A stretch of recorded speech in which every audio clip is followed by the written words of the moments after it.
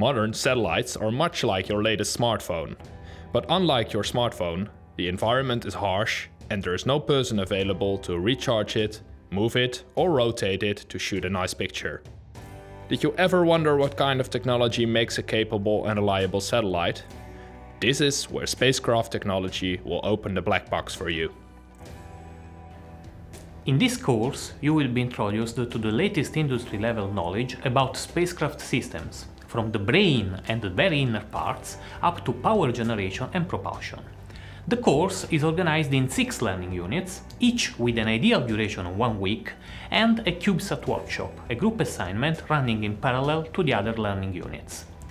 This course suits professionals who have recently entered in the space industry but don't have a specific background in space engineering and would like to improve their technical and scientific knowledge of the field. In the first half of the course, we will dive into technologies of bus subsystems. I will introduce you to the function of each subsystem first and then dive into the technologies being used. We will focus on three subsystems, command and data handling, electrical power and attitude determination and control. To get a true understanding of important design aspects and different configurations, we will explore some of the lower level technologies at component level. To complete the picture of a typical spacecraft bus, we will also briefly deal with structures, thermal control, navigation and radio communication. However, no one of these functions can be completely exploited without a proper propulsion system.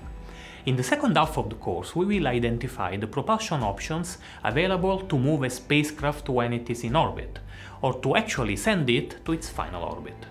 You will first take a closer look at liquid and solid propellant engines.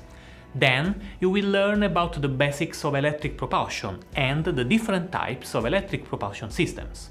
Finally, we will go small and discuss the challenges and opportunities of miniaturized propulsion, its fundamental differences with conventional propulsion, and the main micropropulsion concepts available today.